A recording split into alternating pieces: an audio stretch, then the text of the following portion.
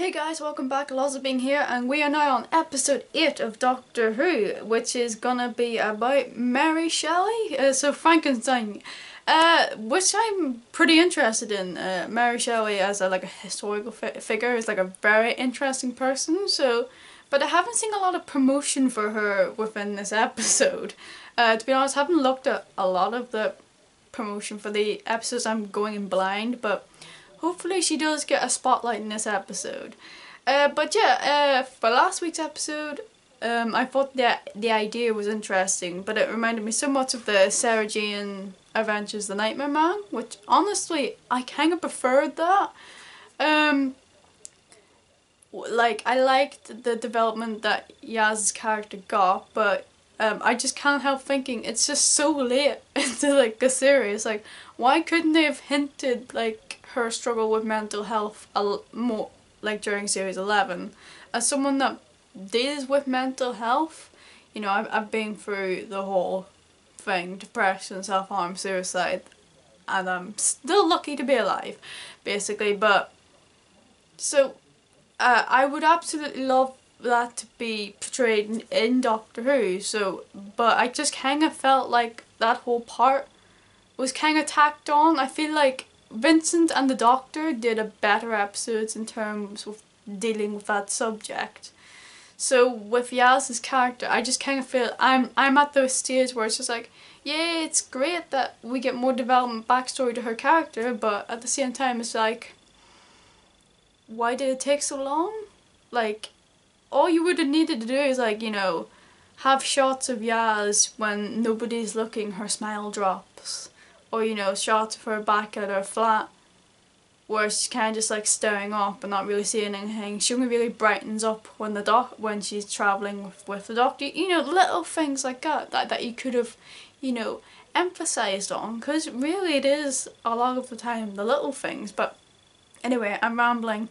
Uh, yeah, so there was a lot of controversy around um, Graham and the doctor scene where Graham opens up which I loved that, but then the doctor kind of like, you know, shut that conversation down. Um, I get the point of that thing, I get the idea, you know, sometimes you open up to people and they don't know what to say or they're too socially awkward to have anything to say. That's fine to portray.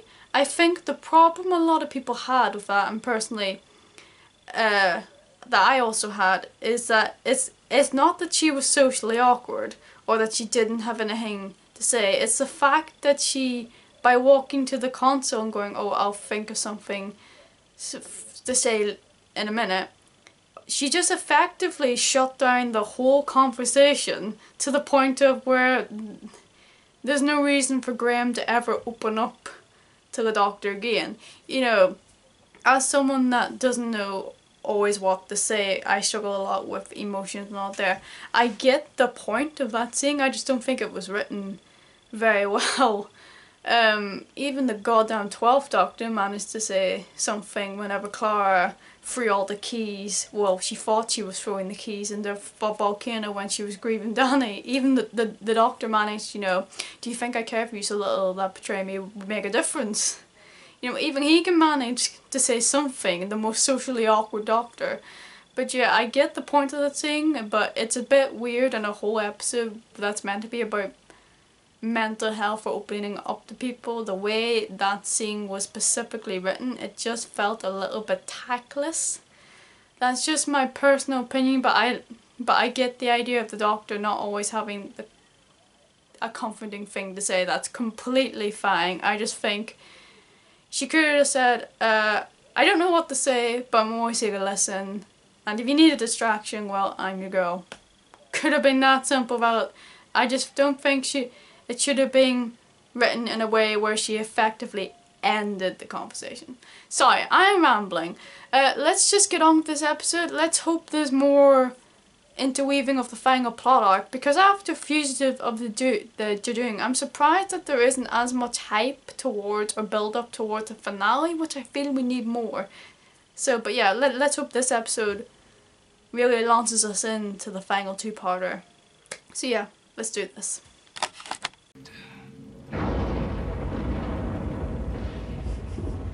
That servant just does not look amused, guys. He's just like, for fuck's At sake. midnight, we took a torch to the chapel.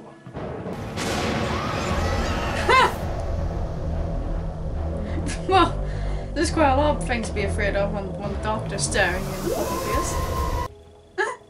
that, that servant is just, he just, he's lost everyone's shit. What would you all care to drink? We shall teach them the dance. Okay. Oh, oh, oh, jeez. You know, a bit of blood and guts, throwing a corpse. Is this a ghost story?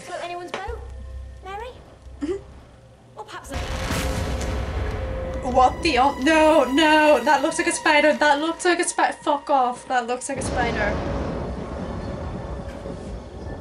It's a combination of a spider and the hand from Addams Family. Who the hell's that?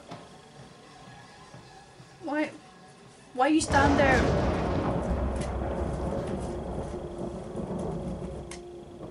What? I sent my man out to fetch your carriage, but seems to have disappeared.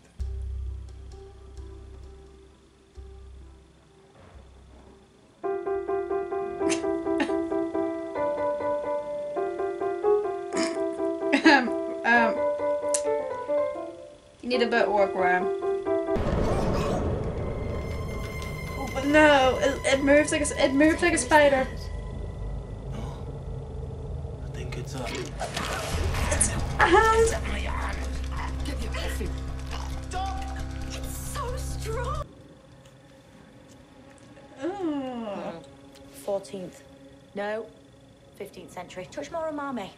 She licked it. She is the most baffling creature I've ever Oh, he wants to. He wants to fuck the doctor. Collagen and...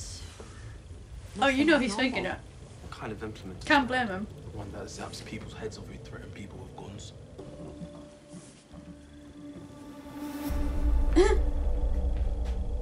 Oh. Easier said than done, apparently. I've had many a dream where that's happened. Many a dreams where I walk in one room, come into a different room. Doctor said the Freaks the fuck out of me. She must be right. Ghost.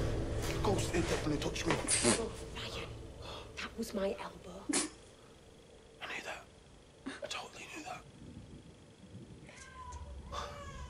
Uh oh. Please tell me there's a real baby in here. I think he's Can you hear me, sleepwalking. son? Or possessed. Can you hear me?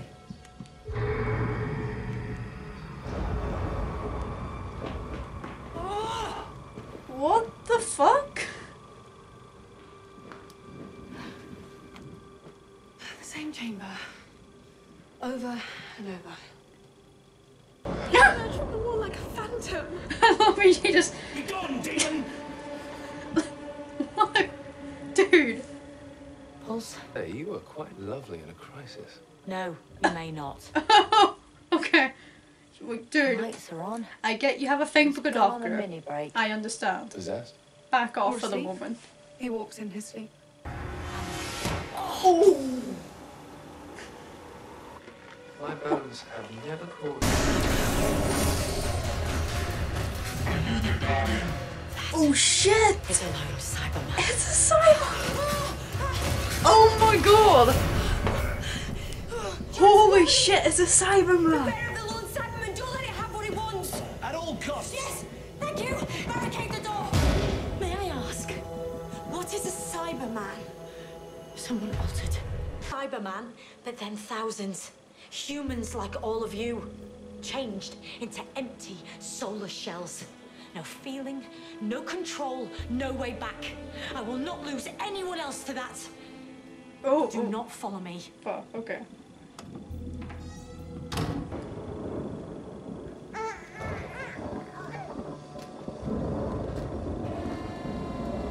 Oh no. Please tell me. It's not the VIP.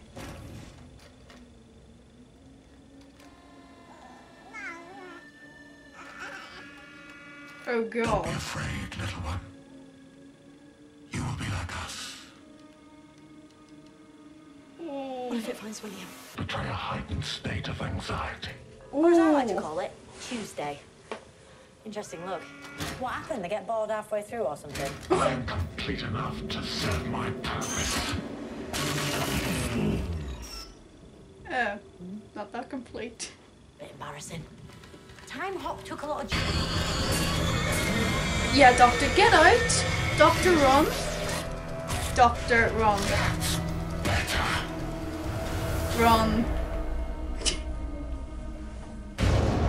Oh! Okay. See me. It hid itself in me and hid me within the villa. And when he thought it might be discovered, it manipulated all of our perceptions. You. Ooh! You want to call it? Do it now. All of you.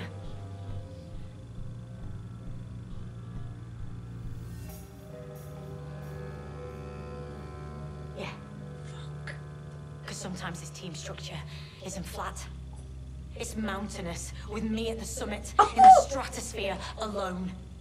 Jeez, She's, Let's she, she, choose. she snapped. She snapped. Poet. Save the universe.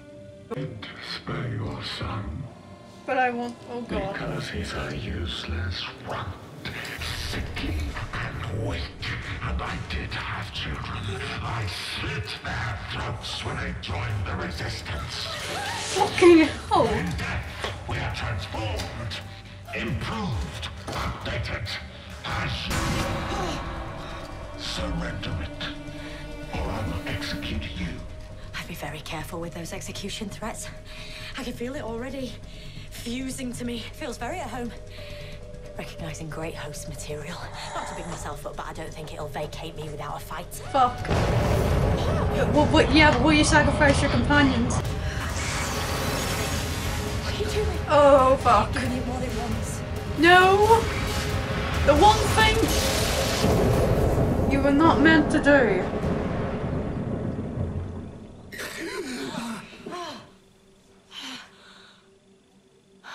Fuck.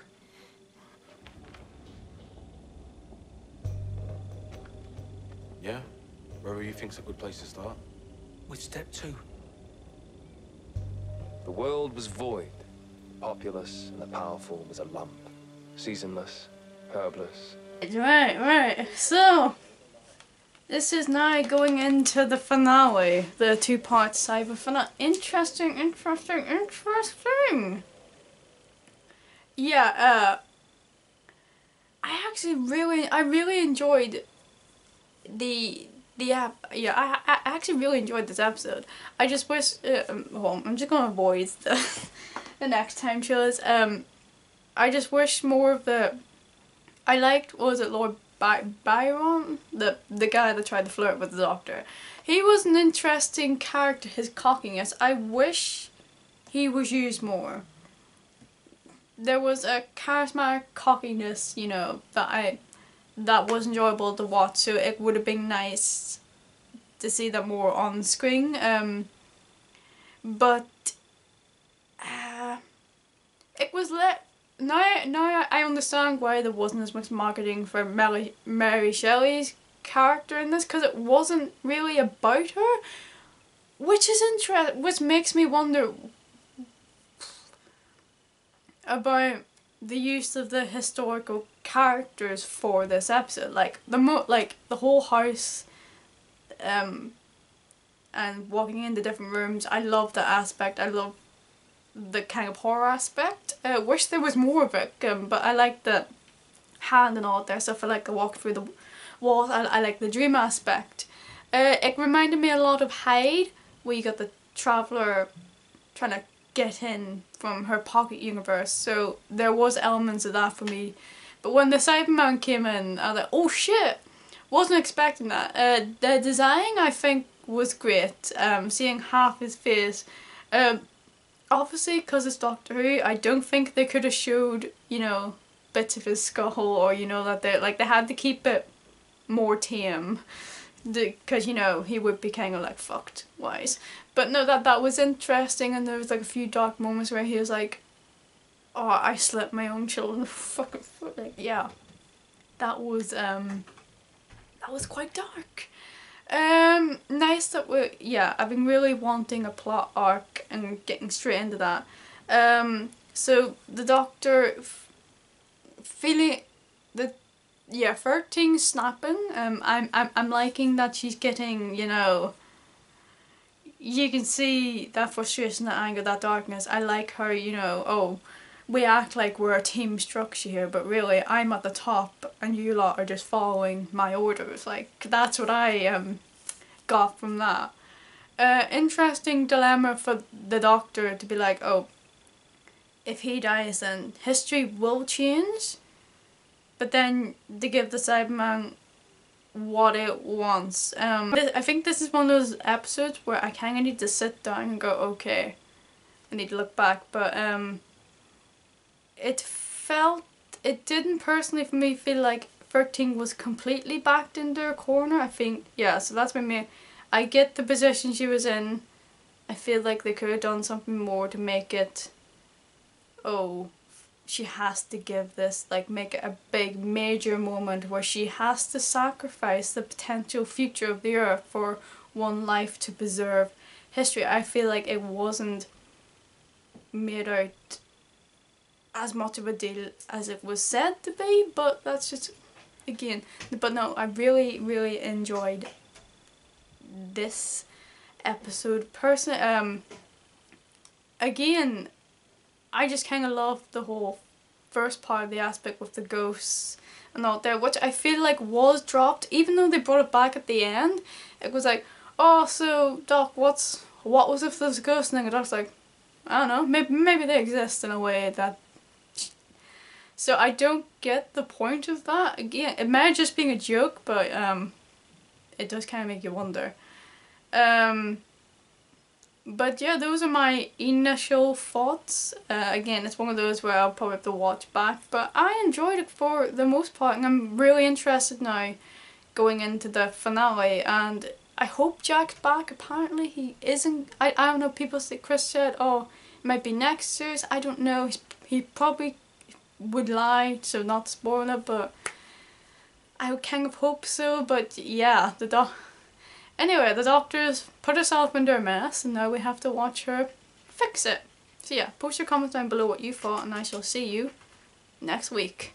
Peace.